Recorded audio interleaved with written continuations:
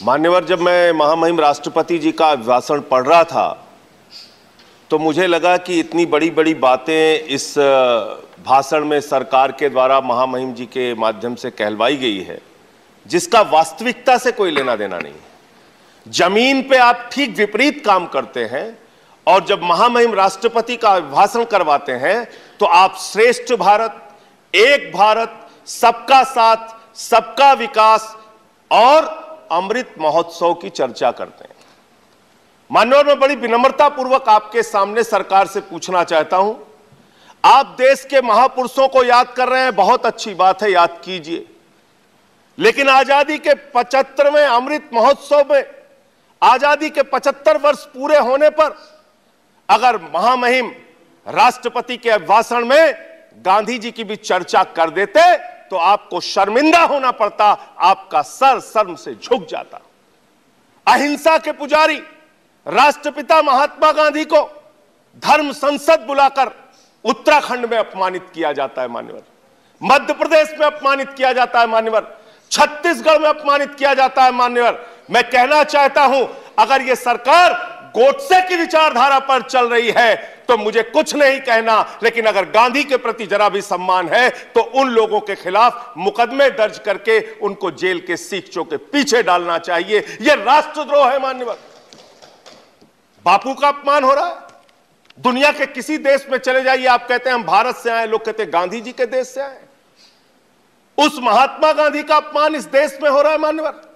आज़ादी के पचहत्तरवें साल में और सरकार खामोश, प्रधानमंत्री जी खामोश, कोई उसकी चर्चा नहीं करते, क्योंकि कहीं ना कहीं भारतीय जनता पार्टी जिस विचारधारा से आती है, वो विचारधारा गोडसे को महिमा मंडित करने की विचारधारा है, गांधी के विपरीत काम करने वाली विचारधारा है।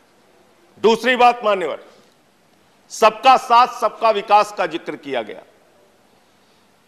एक तरफ़ आप सबका साथ, सबका विकास का ज़िक्र करते हैं दूसरे तरफ़ आपके नेता उत्तर प्रदेश के मुख्यमंत्री कहते हैं, आदित्यनाथ जी भाषण देते हैं, यूपी का चुनाव 80 और 20 पर होगा 80 और 20 पर होगा। ये 80 और 20 क्या है? मैं आपसे पूछना चाहता हूँ बड़ी विनम्रता पूर्वक वो कोरोना की महामारी में जो लाखों लोग मारे गए वो 80 में आते हैं कि 20 में आते हैं। वो किसान जो एक साल तक सड़कों पर बैठा रहा, साढ़े सात सौ किसान शहीद हो गए, वो 80 में आते हैं या 20 में आते हैं। वो खुशी दुबे उत्तर प्रदेश की बेटी जो डेढ़ साल से जेल में सड़ रही है, वो प्रभात मिश्रा, जिसका फर्जी इनकाउंटर हो गया। वो हाथरस की बेटी, जिसको रात में दो बजे जला दिया गया। वो नौजवान जो लाठियों से पीटे जाते हैं, मान्यवर, वो अस्सी में आते हैं या बीस में आते हैं। या अस्सी और बीस में हिंदुस्तान को बांटना बंद करो, गरीब बच्चों के फ़ीस पे चर्चा करो। तरक्की पर चर्चा करो। आप किस और हिंदुस्तान को लेकर जाना चाहते हैं? क्या आप करना चाहते हैं? आपने श्रेष्ठ भारत कहा सत्तरवें पॉइंट को मैं पढ़ रहा था मैंने। श्रेष्ठ भारत, और इस श्रेष्ठ भारत के साथ आप क्या कर रहे हैं? माननीय गृह मंत्री जी, बयान देते हैं मुजफ्फरनगर में जाके। दंगे याद है ना? दंग... हाँ आप चार चार मिनट बोल चुके हैं मान्यवर प्लीज़ जिसके एक एक मेंबर है जिसके एक एक मेंबर मैं एज पर रूल्स जा रहा हूँ प्लीज़ एज पर रूल्स। दस दस एज पर रूल्स। नहीं। मेरे साथ न्याय कीजिए एज पर रूल्स मैंने आप, आपका नाम लेट से आया मैं आपको अवसर दे रहा हूँ।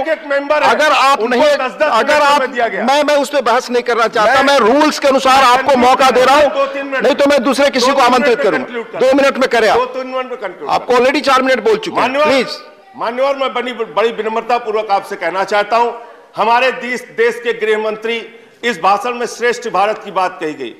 वो भारत श्रेष्ठ है श्रेष्ठ था श्रेष्ठ रहेगा। लेकिन उस श्रेष्ठ भारत को आप दिन रात पाकिस्तान से डराते हैं।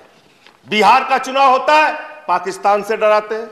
यूपी का चुनाव होता है पाकिस्तान से डराते हैं। पंजाब का चुनाव होता है, पाकिस्तान से डराते हैं। अरे पाकिस्तान से डराना बंद करो। हम 130 करोड़ हिंदुस्तानी हैं। हम किसी पाकिस्तान से नहीं डरते। अगर भाजपा के लोगों को डर लगता है तो चुनाव प्रचार में निकलना बंद कर दीजिए। लेकिन पाकिस्तान की चर्चा चुनाव में मत कीजिए।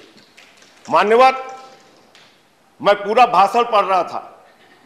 किसानों का ज़िक्र आया। गरीब कल्याण योजना का ज़िक्र आया। आपने उसका बजट न्यूनतम कर दिया।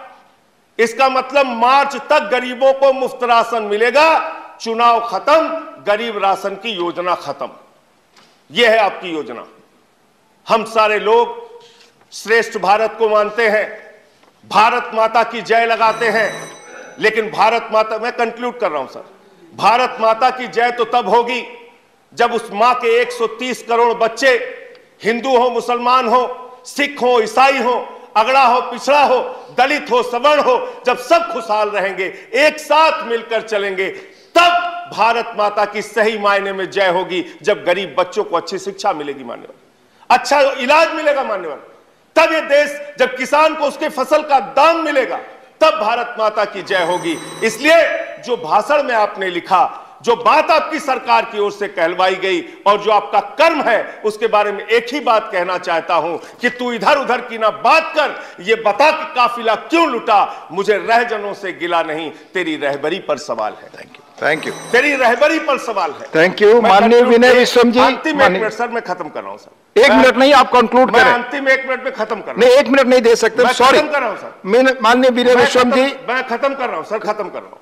मैं सिर्फ़ आपसे यही कहना चाहता हूँ आपके माध्यम से सरकार से निवेदन करना चाहता हूँ चुनाव मुद्दों पर लड़िए देश का माहौल मत बिगाड़िए देश को नफरत की आग में मत झोंकिए देश को इस चुनाव को माननीय विनय विश्वम कराइए माननीय विनय विश्वम इस पूरे स्पीक में यूपी ओनली